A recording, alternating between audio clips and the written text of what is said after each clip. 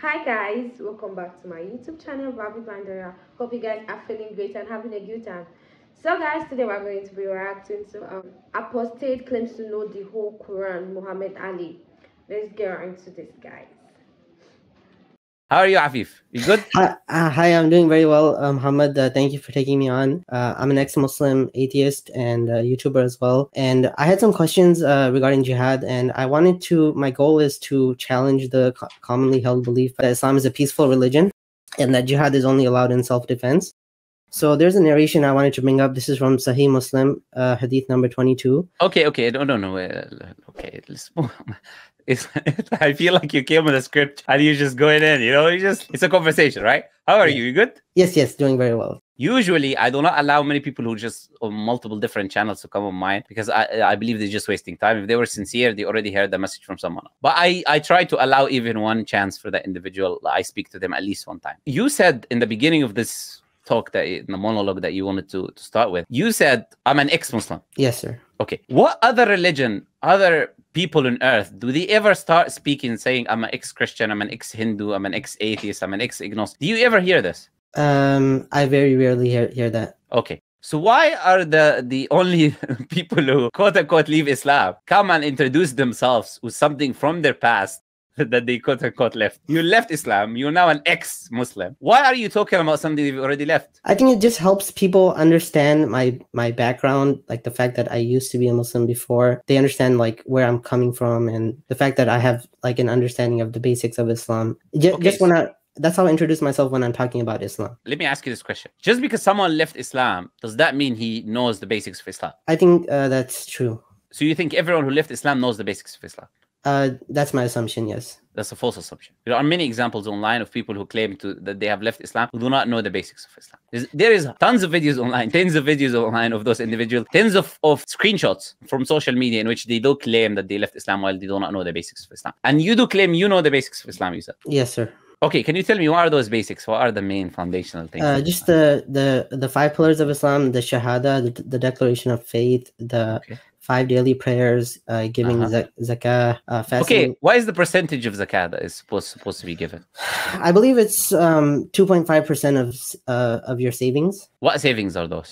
like the the savings that you ha- you've had uh, like in your bank account for one for the amount of one year, um, one calendar year, year in the Muslim calendar. So if I I saved hundred pounds in my bank account for a period of one year, I give two and a half percent. I think there's like a nisab, like there's an amount that above which you have to give it. Do you know yeah. the nisab? No, I don't. I don't really. I thought you know to- the basics. How are you gonna give the zakat if you don't know? You know, and it's a necessity to know the nisab because zakat is, a, is an obligation on every Muslim that he has to give. So he needs to know what the nisab is in order for him to give the zakat. Okay. Yeah, but I left Islam before I even started earning any money, so that wasn't really pertinent to me, right? okay. So And- you never had any enough money in your life to, to give zakat. No, not when I when I left Islam. Uh, the Shahada, Salah, zakat Som, um, fasting during the month of Ramadan. Okay. And uh, Hajj. Do you know about uh, Hajj? Yeah. Uh, also, I'm a Hafiz too, uh, but I do know about the Hajj. You are um, a Hafiz too. yes, okay. Yes, yes, Okay, so let me ask you this question. Yeah. Uh, yes. Read. سيقول السفهاء من الناس ما ولاهم عن قبلتهم. Read. أعوذ بالله من الشيطان الرجيم. بسم الله الرحمن الرحيم. I'm just used to saying that. Uh, this is from Juz 2. سيقول السفهاء من الناس ما ولاهم عن قبلتهم التي كانوا عليها. قل لله المشرق والمغرب يهدي من يشاء إلى صراط مستقيم. وكذلك You're reading Your eyes is, is obviously exposing the, the amount of lies you're making. I'm not reading. Why, sir. look, That's Afif, why do you scripture. lie, Afif? Afif, why do you lie? I'm not you know, reading. you should be you should be more of an honest individual and Okay, should hold on, not, hold make- on. should not claim. Okay, look look at look at the door behind you. Look at the door behind you Yes. and read for me now. وإن منكم إلا واردها. Read. وإن وإن منكم إلا والدها كان على ربك حتما مقضيا. Continue. I don't remember the rest. I haven't read the Quran in like three, four You're years. Hafid. What happened? What surah is this? No, no, no. Look, look there, please. Afif, Afif, Yes, look yes, there. yes. Okay, what surah is this? I, I have no idea. So how are you Hafid if you do not know what surah it is and you cannot finish the verses? Dude, I haven't read the Quran in like four years. But okay, okay, okay. Read from سوف نصليهم نارا. سوف نصليهم نارا. Afif, go ahead. Yeah, tell me. سوف نصليهم نارا. Yes. I, I don't know. I can't remember. You cannot remember. What surah is this? I have no idea. Okay. So الحمد لله الذي خلق السماوات والأرض. Read. الحمد لله الذي خلق السماوات والأرض Uh-huh. و- وأنزل من السماء Uh, ماء no, no. Uh, this is the, the beginning of, of Surah Al-An'am. This is the first verse in the middle of the exam, Afif, please. No, no, Why do you- why do you okay, look this okay, way? Okay, okay, wait. I wanted to get back to the topic, but I wanted to say something. if Yeah, you no, don't no, mind. no. But I, I, want, I want to Okay. show. You do claim you memorized, okay? Yes, I did. So, فلعلك باخع نفسك. Uh, فلعلك باخع نفسك على آثارهم إن لم يؤمنوا بهذا الحديث أسفا. which surah is this? This is Surah Al-Kahf. Surah Al-Kahf. Yeah. At least you know this one. At least you know this one. So Yeah. now these the easy questions you can know, like Surah Al-Kahf, which Muslims read on the day of Friday. But to claim that you're a hafiz and you Yeah. cannot i- i- answer easy questions that I was asking you, like the beginning of Surah Al-An'am, you cannot answer basic questions that I was asking, like the end of Surah Maryam. Uh, وإن منكم إلا واردها كان على ربك حتما مقضية ثم ننجي الذين اتقوا. You do not know how to finish. Do not come and claim to us that you memorize the Quran. No, no, I did memorize the Quran in the past, but obviously I haven't read in the four No, years. So, so how you're would I not know? a hafiz now. Not You are, right now. you are a forgetter. You are a nasi. You're the opposite of that. Sure, sure, sure. So But- whenever you whenever you identify yourself, you say I'm a nasi, not a hafiz. okay, no problem. Okay. Uh, but so when you wondering- come to the people, because when Yeah. you come to the people and say I'm a hafiz, that means you memorize Kennedy. That's what hafiz means. Does not mean in the past. It's not like uh, okay, someone asked me what is your job, and I say I'm a dentist, and I used to be a dentist when I'm no longer a dentist. Cannot say that because I'm no longer a dentist. Okay. Okay, fair enough, fair enough. My, my my my intention was not to say that I remember everything of the Quran right now, but my intention was to say that I'd memorized the Quran while I was a Muslim. I, I, I know, I know that if you ask me, if you ask me Surah Maryam, Surah Taha, if you ask me Surah Furqan, if you ask me Surah An-Namal, I I will know, I will not know it. But Yeah. My- so you don't memorize. Okay. Good. Yeah. So, uh, so my uh, what I wanted to um to ask about is jihad, and what I wanted to narrate is this hadith from um, Sahih Muslim number tw- uh, twenty two. It says, "It has been narrated on the authority of Abdullah ibn Umar that the Messenger of Allah said, I have been commanded to fight against people till they testify that there is no God but Allah, that Muhammad is the Messenger of Allah, and they establish prayer and pay zakat, and if they do it." Their blood and property are guaranteed protection on my behalf, except when justified by law, and their affairs rest with Allah. So, uh, Prophet Muhammad said that um, people's blood and property will only be safe from him if they say there's no God but Allah, uh, do the prayer, and give the zakah. So, does that mean that the blood and property of peaceful non Muslims who did not bother Prophet Muhammad were not safe from him because they did not testify the Shahada, pray, or give the zakah? If so, then why? The answer is you do not take the Islamic tradition with one hadith and then make up a kind of a belief and then leave the fact that there is tens of thousands of other hadith and leave the fact that there is a Quran, a full Quran, which gives you commands of what, on what to do. So you cannot take a hadith, which you, you you mentioned right now, out of context and then try to generalize that this is the only thing that Muslims can do, the only thing that Muslims do. Allah clearly mentions in the Quran that the people who do not believe they have something which is called the jizya, which is mentioned in the Quran, chapter 9. Mr. Memorizer, chapter 9, which verse?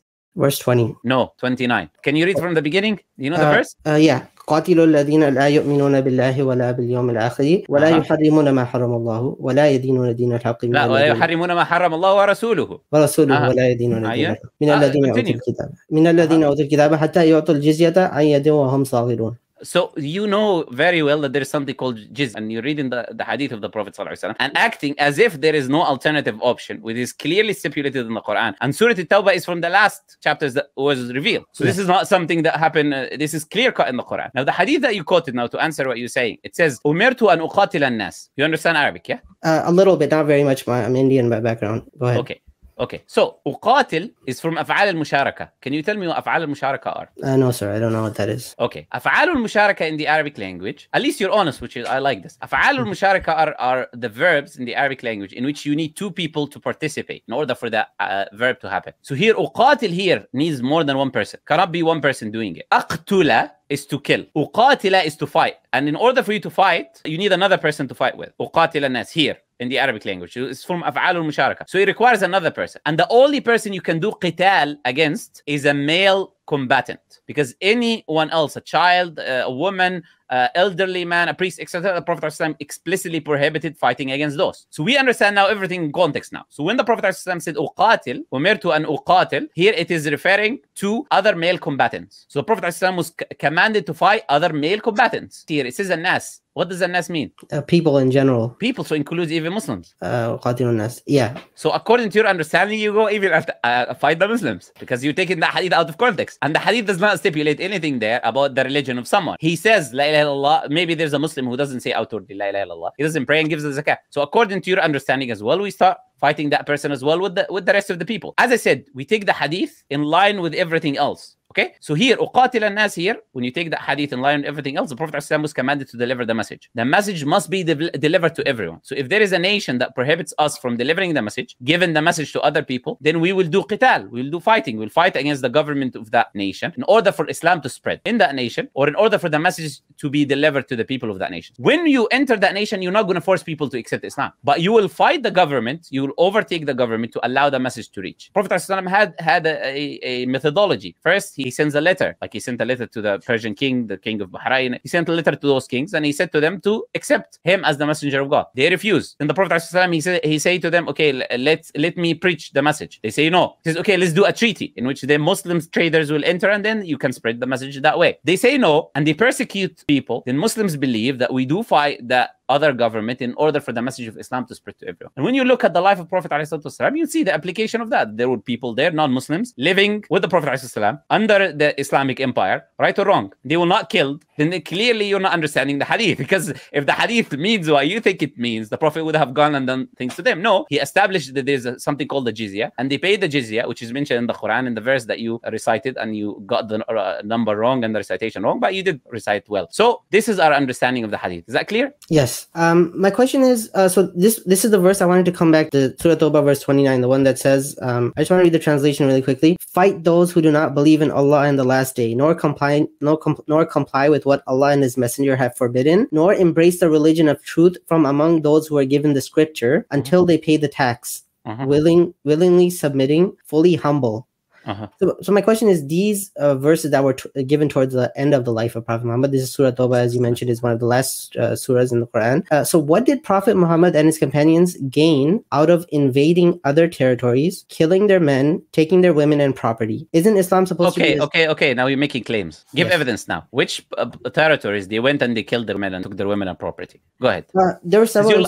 Ah, yeah, look, you lied in the beginning about being a Hafiz. Now you're making another lie. You make yourself look bad, which is not good. Where did Muslims go and take the properties of other people and take their women, as you claim? Uh, yes. So they went. You said they went to their land, Yes. and in the land they took the properties and the women. yes, That's your sir. claim. Yes. Give me evidence now. Um, I'll give you the evidence, but give me just one second. I just want to say I, I'm not all. I cannot give you one second. I Okay, okay, give okay, the. I'll give you the evidence. I know you're not all knowledgeable, Afif. Who doesn't know this? I know Yeah, very well. We yes, just yes. tested you in the Quran. We know you're not all knowledgeable. Yes, yes, yes. We so know, uh, right. in uh, Banu Qurayza, okay, Yes. Banu al Mustaliq with um uh, Banu Qurayza. What happened with Banu Qurayza? with Banu Qurayza there was um a tree. Uh, so Banu Qurayza were planning to betray Prophet Muhammad in, in the Battle of Al Khandaq, and They betrayed him already, not just planned. They betrayed him. they, they didn't they didn't take up arms. They didn't have a chance No, because no, the no, no. Quraysh. They, they, Yeah. they, they didn't have a chance because they didn't have enough time and the Prophet came back quickly. Yes, yes, That yes. doesn't mean they didn't betray him. just because Yes. they didn't have enough time to actually kill you does not mean they actually betrayed you. Yes, so, uh, so, so, yes. okay. So the, the, the incident of Banu Qurayza is showing your lie because they didn't go and take a land and take the women of the people and do what you claimed they did. In fact, there was a treaty, people broke the treaty, and then there was a fight and there was a siege and it was war. So it was not what you claimed. It was a group of people who betrayed, did treason, and they tried to kill the Muslims and take over their lands. It's what they were trying to do, trying to attack the Muslims from the back and take over the land and take their women. So the fact is that Banu Qurayza was doing what you're accusing the Muslims to do. Now, give me a clear-cut examples in which Muslims went to a land, Mhm. took the h-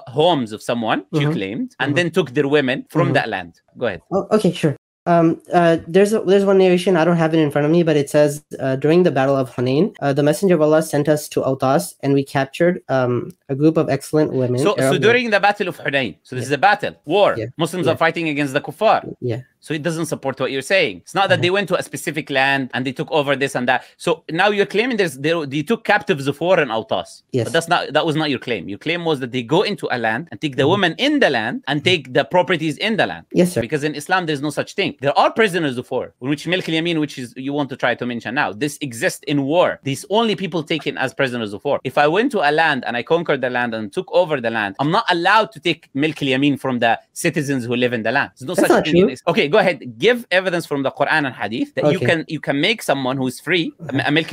Okay. Other um, than in war. Bring me a scholar who said that. Go ahead. no, no. Well, give me evidence. Give when, me evidence. when you invade another village and kill their men and take their women, isn't that doesn't that satisfy the condition of taking women as sex slaves? No, no, no. Again, we said in war, if we're fighting another uh, another people and we take captives of war, this is not going to a land. For example, when we had Andalusia, when, they went to different parts of the land, they went to Egypt, when, when they went to these different parts, they didn't go and take the women they pleased from the population. That's ahistorical. I don't know what you're talking about. But again, I mentioned, I asked you, where is the evidence that you can take, which is explicitly explicit hadith on this, it's haram for you to make someone free as a slave, to make someone free, free milk yamin. You cannot do that. The only way, which is a consensus of scholars, the only way someone can become milk yamin is to be a prisoner of war. That's the only path that is left open after Islam. You cannot take a free person like the people used to do, take a free person and then enslave them. But you're Christian, Afif, aren't you? No, no, I'm atheist. You're, you're Uh, not a Christian. No, no, no. You were not Christian ever in your life. No, I was Muslim before. So where do you get the concept of right and wrong from? Uh, right and wrong. Oh, okay. Yeah, yeah. Uh, from uh, empathy, from the ability to uh, understand people's pain, uh, pain and suffering. Um, that's where I understand what is right and wrong. Um, like for example, I know. So if there is suffering, therefore X is wrong. If I suffer, then that thing is wrong. Uh, yes, sir. If you cause suffering to somebody else, yes. No, what you said suffering. So just it is just causing uh, uh, someone else. What about myself? If I cause suffering to myself, I, I, I yes. Um, It's uh, wrong as well. wrong. Yes, I Okay. believe so. so if I'm a, bo- uh, a teacher who's teaching boxing and then causing suffering to my trainee in order for him to learn how to box, that's wrong according to you because I'm causing him suffering. If I'm causing suffering by training that person every day, waking him up in the morning, telling him to run, telling him there is suffering there. Mhm. Therefore, it's wrong according to you. Him I learning how to self-defend and increase and, and embitter hi- his body, that's wrong. I think I didn't define it correctly. I think you have to add consent in there. Like if the suffering is caused without somebody's consent, then that's then that's would be wrong or immoral or evil. Okay, so if I if when I don't consent and I feel a toothache in my teeth, which causes me suffering, which is af- actually giving me a sign that I need to go to a doctor to fix my teeth, that's that's bad. That's that pain, that pain that helps me to save my teeth from losing my teeth is bad, according to you. Yeah. Okay, I think this, this is the end of this conversation. Okay, sure. Uh, you I- think you could give me just Abhi, one minute? No, no, I can't give you Oh, okay. minute. Okay, no Uh, problem. all, I, all I'm going to say is the following. As an Yes. atheist, Afif, you've got no grounds to say to anyone what is right and wrong because you've got no objective moral standard in which you can enforce on others. So you cannot come here to me. You can say subjectively what you think, as you said, empathy and Mhm. suffering. It's a subjective opinion. You cannot come and try to enforce this on us and say Islam is saying this, Islam is saying that, and it is wrong. Why does Islam say this and that? Because you do not have a, a criteria in order for you to identify what is objectively right and objectively wrong to begin. Okay. Anyways, Afif, I appreciate at least a little bit of honesty because you did lie, but I do appreciate at least I would say the good manners that you displayed in, in the discussion. Okay. Thank you very Uh, much. I gave you a chance to come. You wanted to come and talk. I give you a Yes, chance to come and talk. I appreciate that. No problem, Afif. Bye bye. Okay. Wow, this is um this is should I say it's self-explanatory already. He does not have basic ground, like he's he's not sure of what he's saying. He's mixing it up, he's mixing them all up and I'm actually happy that he is able to actually cut him and you know before you cut someone you need to know your ground and stand on your ground so well. So guys, um, I've come to the end of today's reaction. Don't forget to like, comment, and subscribe. And before we go out there to say anything, we should have basic factor. We should check. We should stand on our ground and know what we're saying. Yeah, you should be able to differentiate from your left and right. I mean, I mean your right and wrong. You feel me? So we should not just come out to just say things which we're not sure of. Okay, guys, I love you all. I'll see you on the next one. Subscribe. Thanks for watching. Bye.